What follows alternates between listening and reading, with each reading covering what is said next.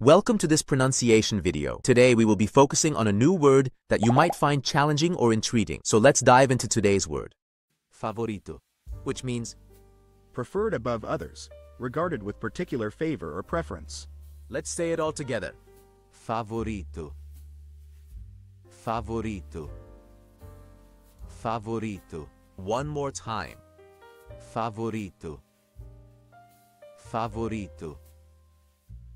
Favorito.